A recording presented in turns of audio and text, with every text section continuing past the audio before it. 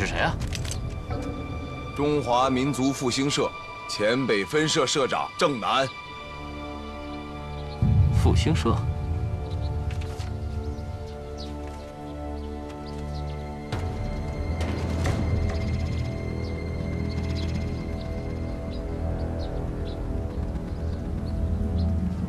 这是干什么？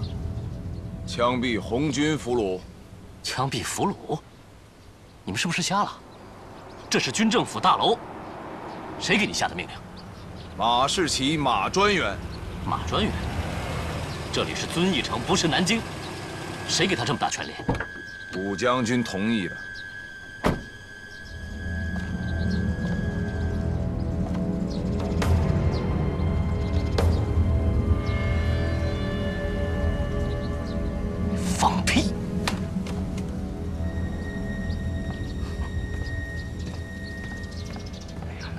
这是真实的，专？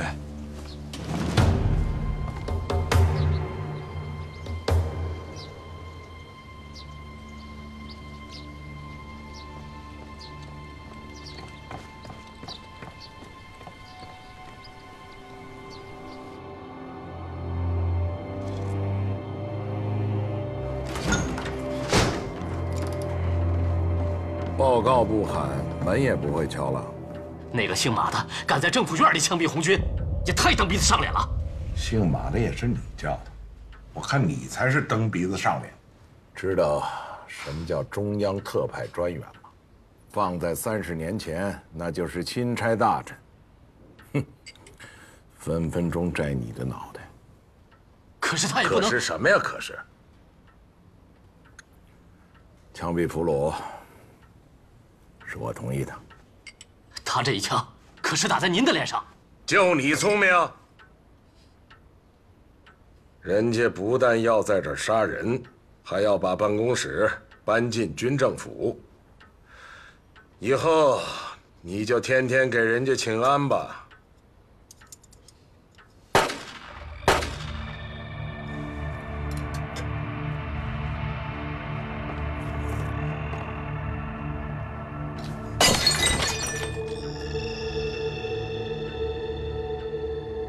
是。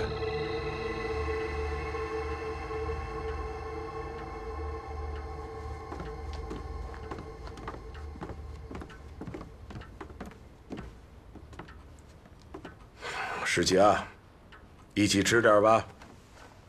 不了，我吃过了。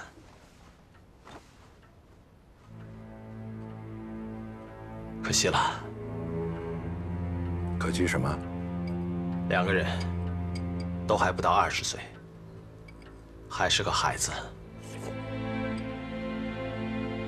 当时我真不明白，他们为什么要这么做。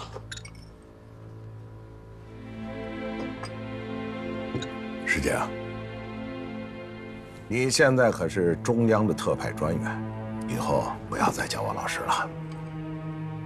如果当年没有您对我的资助，我是离不开贵州这个穷地方的，您对我有恩，就永远是我的老师。那么你刚才这两枪，可是结结实实的打在你老师的头上，你该满意了吧？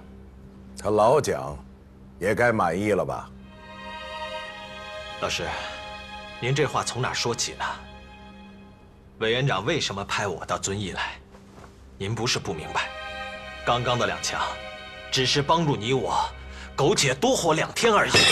少来这套！遵义城是老子丢的，想办老子就拿军法，别弄这云山雾罩的事儿。老子读书不多，悟不明白。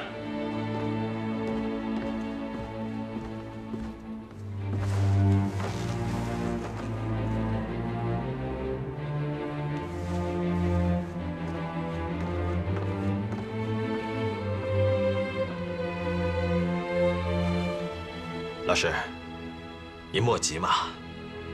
调查遵义失守，是我主动请缨的。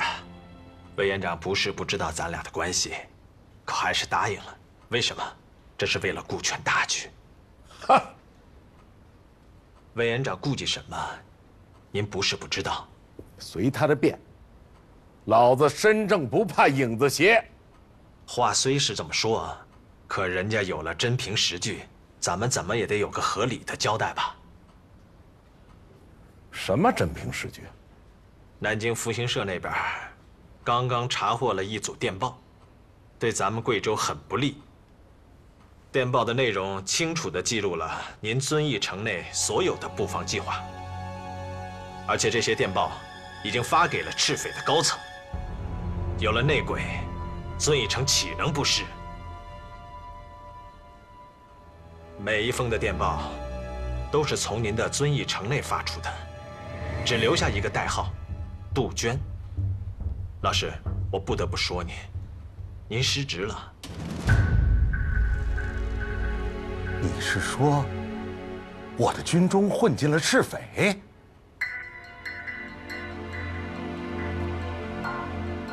娘的，老子活剐了他们！这件事情，我若交不了差，我这个特派员的下场是可想而知的。您得救我呀！我怎么救你啊？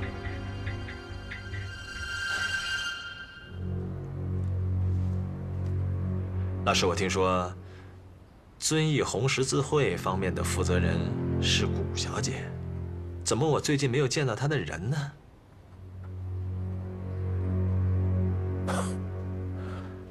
哎呀，我这个丫头啊，可是枉费了我一番苦心呢。老话说，嫁出去的女儿泼出去的水。我本想把她送到法兰西，当个贵族小姐，将来。找个合适的人家把她嫁了，你说，这个丫头非要回到这个穷地方，还弄一个什么红十字会？一个姑娘家，成天搬运尸首，成何体统？老师，这就是您的不对了。谷小姐如此年轻，却有大仁大义之举，这实乃国家之大幸，民族之大幸啊！我还听说，谷小姐是围棋高手。改日，我一定登门讨教。老师，我先告辞了。不送了。